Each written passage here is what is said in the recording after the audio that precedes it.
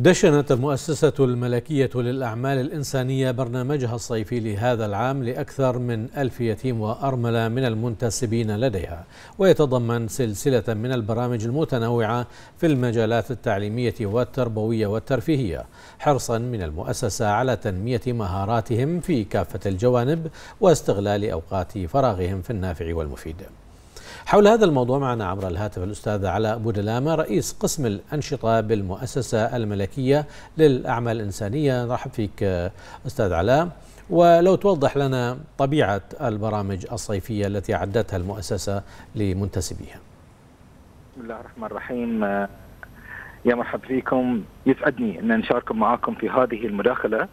ونشكركم بداية على دعمكم الدائم للمؤسسة الملكية للأعمال الإنسانية والعمل الخيري والانساني في مملكة البحرين. الحمد لله يعني رب العالمين لدينا العديد من البرامج النوعية التي تخدم فئة الأرامل والأيتام مثل ما ذكرتوا في كلامكم الجميل وتقريركم. آه، تركيزنا في هذا الصيف على استثمار الوقت في التعلم والترفيه وإسعادهم في باقه منوعة من البرامج الاجتماعية والمسابقات. طبعا هدفنا إدخال آه، السرور والبهجة في قلوبهم والاستفادة من الوقت في كل ما هو مفيد لهم بإذن نعم. الله.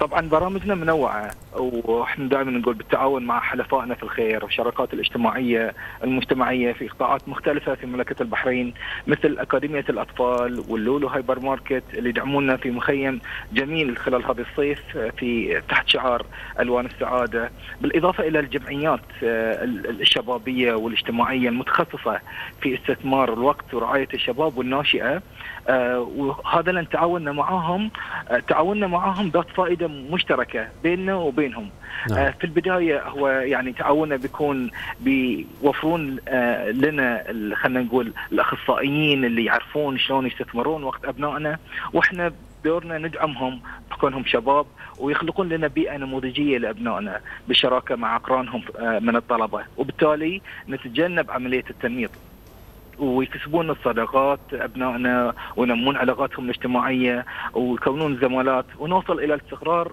والأمن الاجتماعي لهم ولله الحمد. طبعا يعني ضروري أن نقف وقفة شكر وعرفان لسيدي جلالة الملك حمد بن عيسى الخليفة أهل البلاد المفدى والرئيس الفخري للمؤسسة الملكية للأعمال الإنسانية اللي دائما يوجهنا للشمولية في الخدمات والرعايات لمنتسبي المؤسسة. نعم. وطبعا قدوتنا سمو الشيخ ناصر بن حمد على الدعم اللامحدود وحثه لنا دائما للإبداع والابتكار في تقديم العمل الخيري والإنساني والشكر موصول لسعادة الدكتور مصطفى السيد المحفز دائما لنا.